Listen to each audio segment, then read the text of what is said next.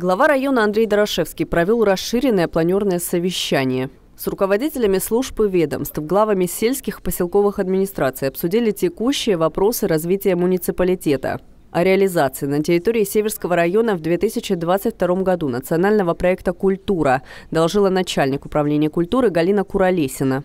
В Северском районе 56 учреждений культуры, в том числе клубного типа, дополнительного образования, библиотеки, кинотеатр, музей и парк. Сеть клубных формирований насчитывает около 6 тысяч человек. В минувшем году по всем направлениям деятельности было организовано и проведено более 5 тысяч мероприятий, включая массовые праздники и концерты. Благодаря нацпроекту новые инструменты и оборудование получила детская школа искусств поселка Ильский и другие учреждения.